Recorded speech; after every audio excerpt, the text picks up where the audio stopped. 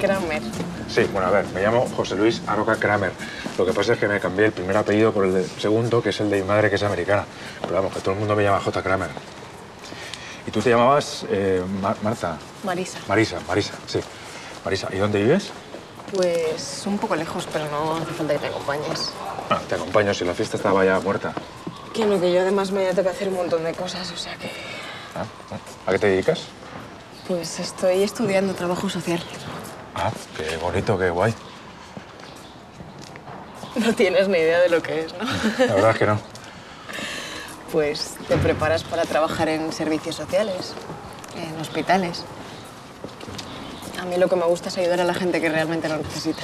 Pues de puta madre. Oye, entonces, ¿tú cuántos años tienes? 20. ¿Y tú? Mucho más, tengo 34. Qué mayor. Dios mío.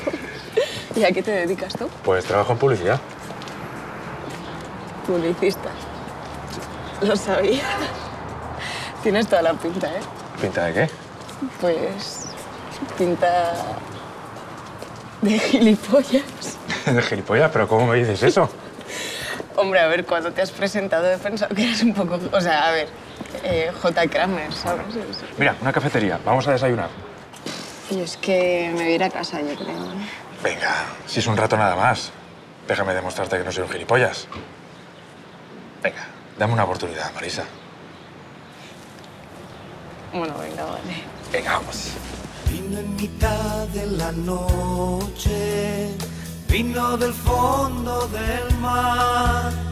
La bella sirena, la bruja del ron,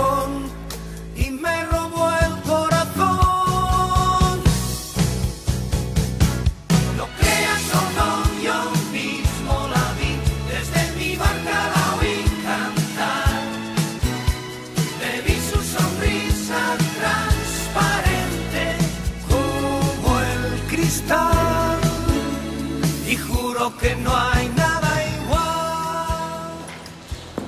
Oye, pues al final no me lo he pasado tan mal, ¿eh? Bueno, espero haber cambiado tu opinión sobre los publicistas. No, pero tú me caes muy bien. Entonces, mm, nos vemos otro día. No sé yo...